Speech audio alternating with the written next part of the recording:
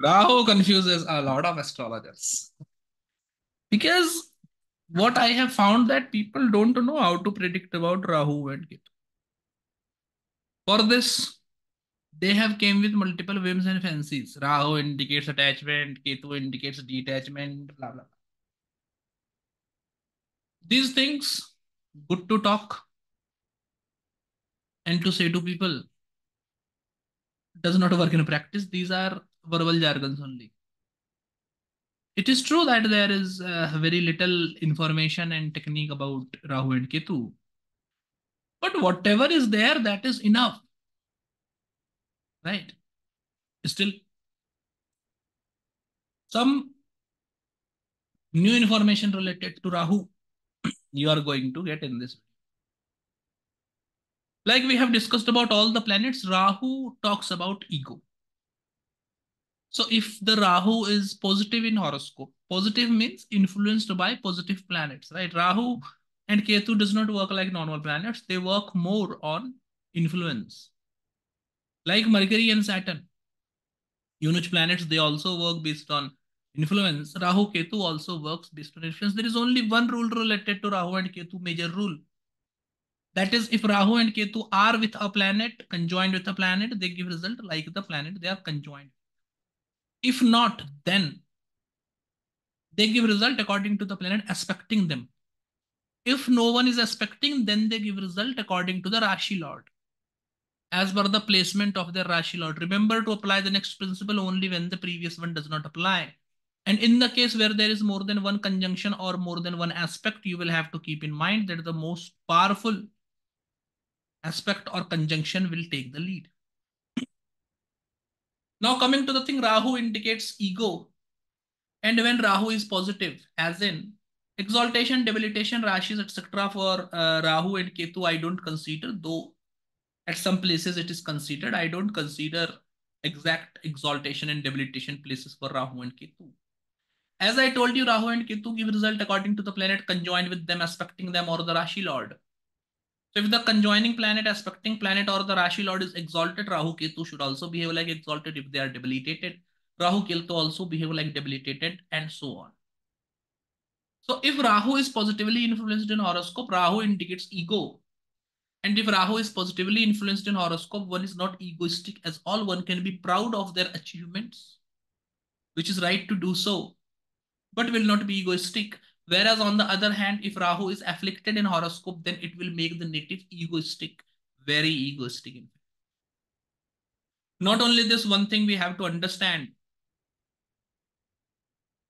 Because Rahu indicates ego in the Dasha Antardasha of an afflicted Rahu, ego-related clash problems because of ego will happen. This also have to be understood this way. Right? Rahu and Ketu indicate army as well in the planetary kingdom, Rahu and Ketu are the army. So if someone is working in army and police, they are working because of a strong Rahu Ketu. Rahu Ketu influencing the houses related to profession or income will indicate that someone will work in army or will work in police. Police is the army for the state government. The army is the army for the central government, at least for India. Right? So this is how it should be understood. Rahu is called Tam. Tam means darkness. Darkness is related to Tamasguna. So the quality of tamasguna, laziness, putting things that I will do it tomorrow, wasting time, wanting something without doing effort or giving anything in return, these tamasic qualities are indicated by Rahu when Rahu is afflicted.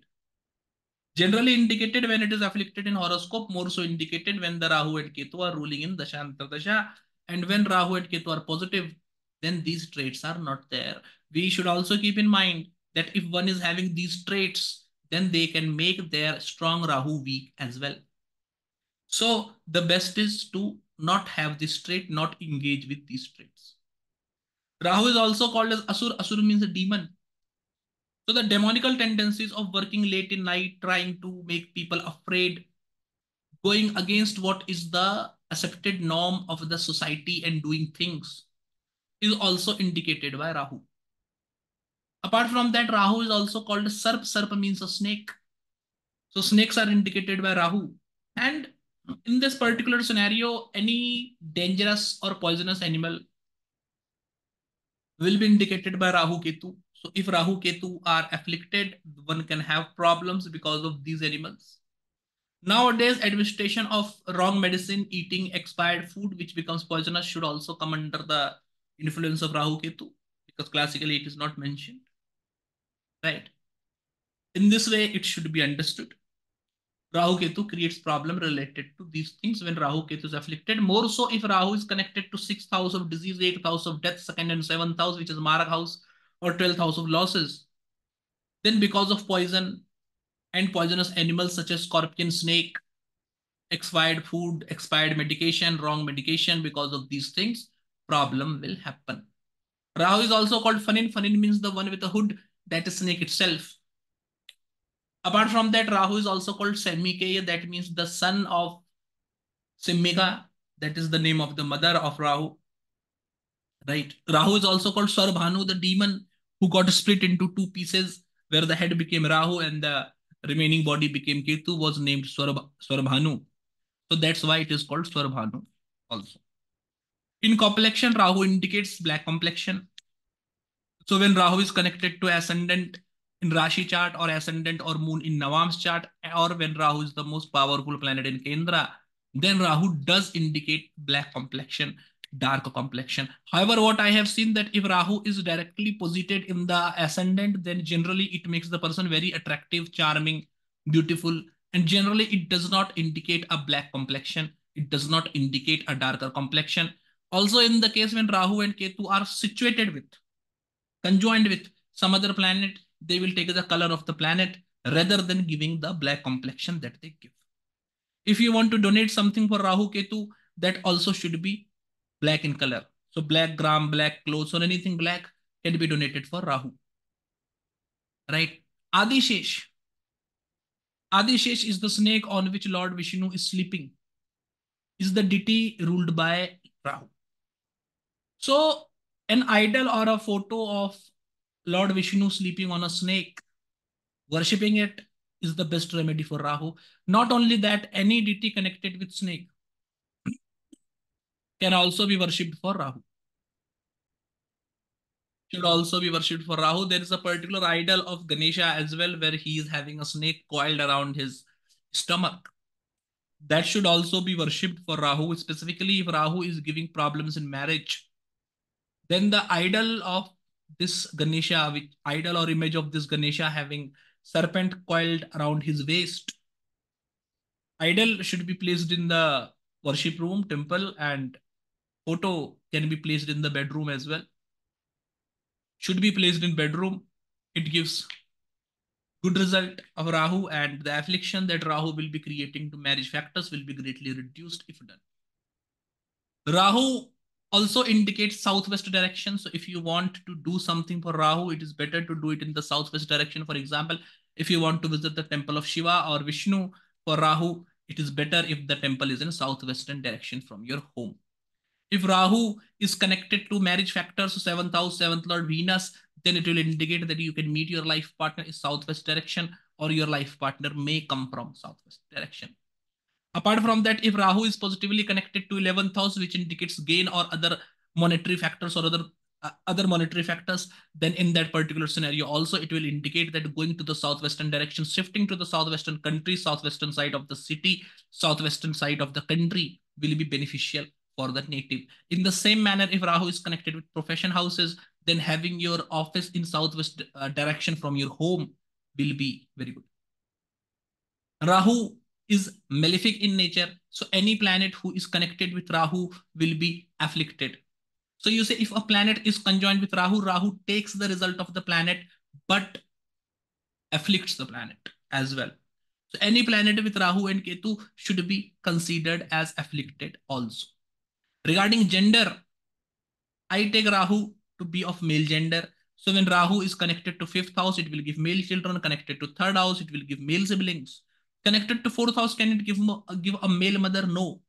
But mother will have to work like a male, take responsibility of the family. She will be working because of which the care and other things that the mother is supposed to give to the native can be reduced. In the same manner, if Rahu is connected to the seventh house in a female horoscope, the husband will be male like that we want him to be that is very good but if in a male horoscope rahu is connected to seventh house it will indicate that spouse which should be a female will be male like it does mean that a spouse will be professionally successful well to do charming attractive etc but also indicates that spouse will have male tendencies of aggression short temperedness coarse voice hard skin etc as well. This way it should be understood. People belonging from the lowermost strata of the society low class people outclass people are indicated by rahu. So if you want to do any remedy related to rahu giving donations to them or doing the remedy with their help will be very good traditionally in tantra sometimes it is also indicated that for the removal of black magic some outcast person some potter some barber etc should be taken to worship this uh, particular deity or chant this particular mantra right? Now you know that it is because of Rahu, right? If you take help of a barber or potter to make an idol for you or do some worship or chant some mantra for you, then you will be activating your Rahu, right? This way it should be understood. If Rahu and Ketu are indicating gain of something, it will be gained because of outcast people or people belonging from very low class of society. This should be seen in natal horoscope also. This can be seen in Prashna as well. For example, say in natal horoscope, if Rahu and Ketu are connected to the seventh house, then you may find your spouse because of the help of these people. You can get into relationship with the help of these people. Right. So you can get into a relationship because of outcast. Now, one more thing is there that if Rahu is connected to seventh house, how the spouse will look like. If the Rahu is connected to fifth house, how the child will look like. If the Rahu is connected to fourth house, how the mother will look like. If Rahu is connected to ascendant, how the native will look like. That we will, that I will tell you. Rahu is tall in height, so it gives tall height. Skin diseases it will produce. It makes the person a heretic. It makes a person have hiccups it makes the person a liar or someone who possess who portrays something about himself that he's not it makes the person cunning gives diseases related to leprosy or other skin diseases right but when this rahu is well placed it does indicate that he will be a person who will relieve other from troubles etc this it also indicates that the person will be devoid of intelligence as in not like the person is not learned or not intelligent, but he's not able to use his intelligence for himself or for his benefit is what should be understood. Right? The person will love to spend a time in forest or those areas which are generally not, not visited by general public at large. Right? Rahu also indicate corners of houses and ant hills so if you keep corners of your houses well lighted, neat and clean, you will be remedying your Rahu, improving your Rahu. That is one thing.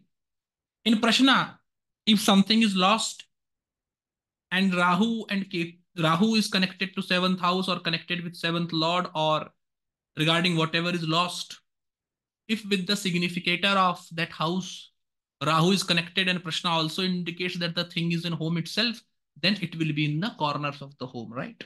Apart from that, Rahu also indicate ant hills. So if you wanted to do some remedy for Rahu, doing it near ant hills will be good. If Rahu is connected to fourth house, it will indicate that near the home there will be good amount of ant hills or many ant hills will be there. Accordingly, it should be understood as per the intelligence. Old garments, clothes having multiple colors is indicated by Rahu. These clothes you can wear to activate your Rahu. These clothes you can donate for Rahu. Or you can have a multicolored curtain, bed sheets, etc. in your home to activate Rahu. You will want to activate Rahu only when Rahu is good. How Rahu will become good when Rahu is connected with a well-to-do planet, exalted planet, Multrikon planet, Swarashi planet, Vargottam planet. Then also Rahu and Ketu will behave the same way. Rahu and Ketu is positive. Apart from that, Rahu and Ketu can also become Vargottam. So independently, when Rahu and Ketu are Vargottam, then also they give good results. And if they are giving good results, then you should activate your Rahu and Ketu for best results because good result giving planet will lead you to Raja Yoga. In metals, Rahu indicate lead. So things made up of lead can be donated or worn to remedy Rahu, strengthen Rahu, basically strengthen Rahu. Right. So not remedy, but strengthening Rahu. If Rahu is a beneficial planet, then you will want to strengthen it for the best results. In Prashna, if Rahu is indicating something, then it will happen in eight months. Right? This is how it should be understood. Regarding planets, Rahu is very friendly towards Venus and Saturn. So when Rahu is with Venus and Saturn, he is with friendly planets and gain of things indicated by Rahu will be very easy. Whereas Rahu have a good relationship with Mercury, Jupiter also, not a very good relationship, very friendly towards Venus, Saturn.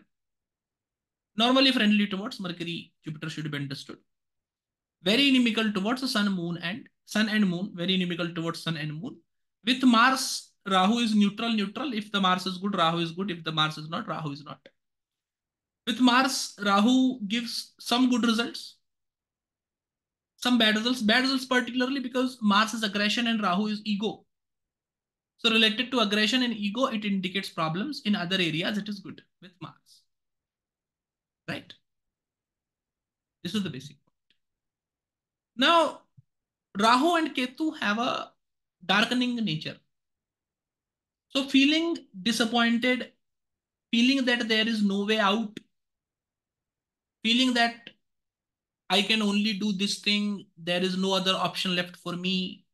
These tendencies are given by Rahu and generally when it is a negative Rahu, which is also running in Dasha Antardasha, one succumb to such feelings and because of succumbing to such feelings, they can create mistakes or do things which is not favorable for them. So if you have a negative Rahu and that Rahu is also activated because of Dasha Antardasha transit, etc. of this particular tendency, you should be careful about.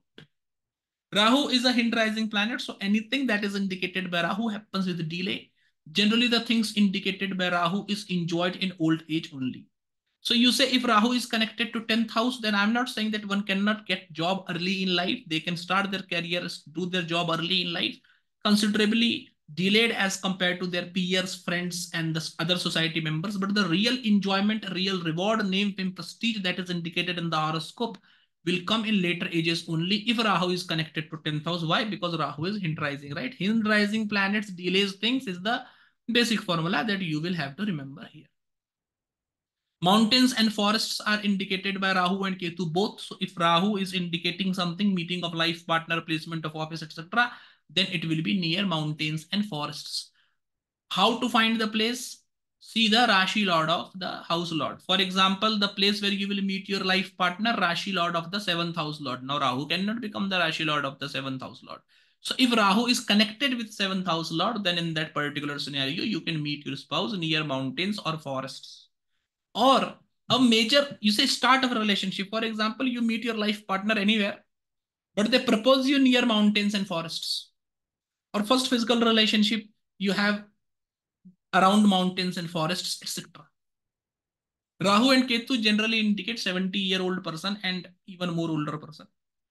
So if you do remedies related to Rahu Ketu, such as giving donations, etc., to very old people nearing 70s or more than that, that will be very good. That is one thing. If Rahu and Ketu are indicating something, achievement of something, they will be achieved through or by the help of old people around 70 or more than 70. Right? This is what should be understood. In gemstones, agate is traditionally recommended for Rahu. So wearing agate or consuming agate method of which I have told earlier will be good for Rahu. Apart from that, hessonite in the modern terms is also indicated by Rahu. So wearing hessonite and consuming hasonite as per the method I have told before for Rahu will be very beneficial. It will activate Rahu and only activate Rahu when it is positive in your horoscope. Rahu have downward aspect. It does indicate the person getting ashamed. So a negative afflicted Rahu connected to any house or any planet will make you ashamed related to the significations of the house or the planet, whatever the condition will be. Apart from that, Rahu influences 5th, 9th and 12th house from its placement. This 12th house should be calculated as you calculate the 12th house. 12th house for first house is the 12th house itself. 12th house for the second house is the first house, 12th house for the third house is second house, and so on and so forth. Normally, it should be calculated. Rahu influences over these houses. I don't take the influence of Rahu over the seventh house because seventh to Rahu, there will always be Ketu. So it is useless to take the influence of Rahu over Ketu itself. In that case, how you will distinguish the result of Rahu and Ketu, God knows. At least I don't know. Right, so Rahu does not aspect seventh to it because Ketu is already there. Now, a particular setup is there that this thing I have explained before also that if there are many planets situated in a Rashi and they are getting aspected by Rahu, who will get the maximum influence of Rahu's aspect? So planets situated between 20 degree to 30 degrees in Leo, Virgo, Libra, Scorpio, Aquarius, Pisces will get the maximum influence of maximum aspectual influence of influence from aspect of Rahu. And planet placed between 0 degrees to 10 degrees in Aries, Taurus, Gemini, Cancer, Scorpio, Sagittarius will get maximum influence of Rahu through aspect. This should be understood. In relatives, if one wants to know about paternal grandfather, it should be known through Rahu. Rahu indicate paternal grandfathers. Rahu is very good in Aries, Scorpio, Aquarius, Virgo, Taurus, and Cancer Rashis, and in 10th house as well. Any planet is good in 10th house. So if Rahu is situated in these houses, then your Rahu should be considered as strong. Then the Rahu should be considered as positive. In that particular scenario, you can do remedies related to Rahu. When situated in these uh, houses and Rashis, Rahu will also give you good result in their Dasha and Dasha. Epilepsy, smallpox, uh, epilepsy, smallpox, these diseases are indicated by Rahu. Getting troubled by house flies, getting troubled by worms, getting troubled by ghosts, getting troubled by friends, goblins is indicated by Rahu. Suicide by hanging, diseases from want of food, thirst, leprosy, skin issues are also indicated by Rahu. Right? Buddhist people are indicated by Rahu. Snake catchers are indicated by Rahu. As ram, wolf, camel, serpents are indicated by Rahu. Places enveloped in darkness is indicated by Rahu. Mosquito, bug, insect, owl is indicated by Rahu. So if you want to do some donation for Rahu, maybe to some Buddhist priest, to some Buddhist palace temple, you can do the donation. Snake catcher, if you see, you can give some donation to snake catcher. That will be a good remedy for Rahu. Doing things for beneficence, preservance, or giving water, etc. And anything that is suitable to be given to camel, wolf, ass, ram, etc. will also be a good remedy for Rahu. When I say remedy, I mean to say if you do it, you will make your Rahu positive. When I say activating or strengthening, it means that it will activate or strengthen the Rahu. And if the Rahu is malefic, the strengthening will be bad for you. If the Rahu is beneficial, good result giving, only then the strengthening will be good for you. The sense of touch is governed by Rahu. And generally when Rahu is weak and afflicted, the sense of touch is damaged in the horoscope of the native. What happens because of it? multiple issues such as not being able to feel things and all of these things of course this will happen you know that one can become very tolerant to pain as well not feeling pain and because of this they can do things self-harming things to a greater extent as compared to others this tendency is also given by rahu so rahu gives uh, self-harming tendencies also and because the person feels less pain they are more susceptible towards creating uh, more danger for themselves as compared to normal people. So they should be careful about it. Importantly, because the loss of touch related elements will also create uh, sexual problems. Rahu indicates sexual problems as well. Black gram is also indicated by Rahu. So donation of black gram will remedy Rahu as well. Clamp of trees, clamp of bush or sal tree is also indicated by Rahu. So preserving, planting, watering these trees will remedy your Rahu as well. In the 10 incarnations of Lord Vishnu, Varaha or the boar incarnation is indicated by Rahu. Varaha or the boar incarnation cannot be worshipped at home. Right. So the temple where the idol or image of Varaha, Bhagavan Lord Varaha is there, you can visit that temple, donate there, do worship there, to get good results of Rahu to remedy Rahu. In the in this temple complex in Khajuraho in Madhya Pradesh, there is a big idol of Lord Varah. There also you can visit, and this will give you good result related to Rahu. This will remedy Rahu. Right.